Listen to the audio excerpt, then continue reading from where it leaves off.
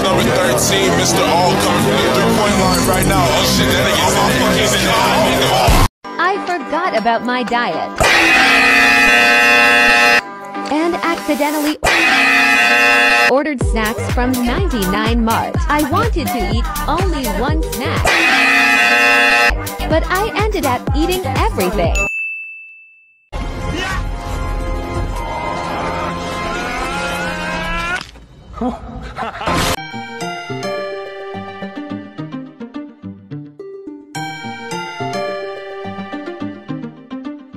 All my fellas.